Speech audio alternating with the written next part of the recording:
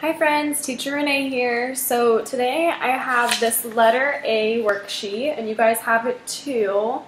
And we are going to go over the images on the worksheet and that this is letter A first. So A, like apple, right here.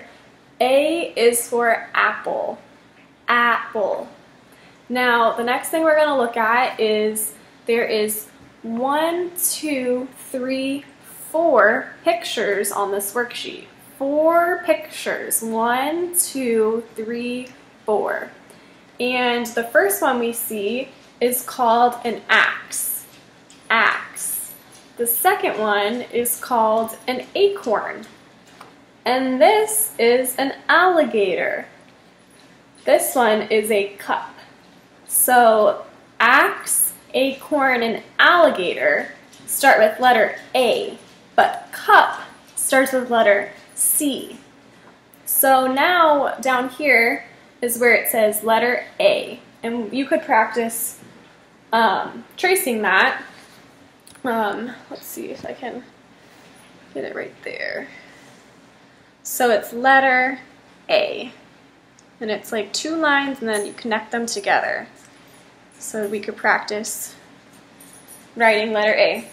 But now I'm going to color my acorn. If you have the color brown, you can color your acorn brown. So let's see. Coloring my acorn brown. Coloring slow. So that is the acorn and it is the color brown. Next, we have the alligator. And I'm going to color the alligator green. If you want to color the alligator green, you can color green as well. Coloring him.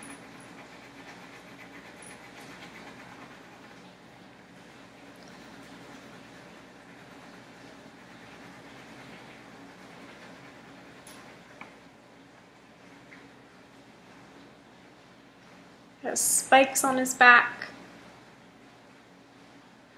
And let's see, the axe, I'm gonna color gray, which is up here. So this is for like cutting wood. Has a sharp side right here and you can cut wood with an axe. And last, we have a cup. And it doesn't start with letter A, it starts with letter C, but we will still color it. You can pick whatever color you like. I'm gonna do pink for my cup.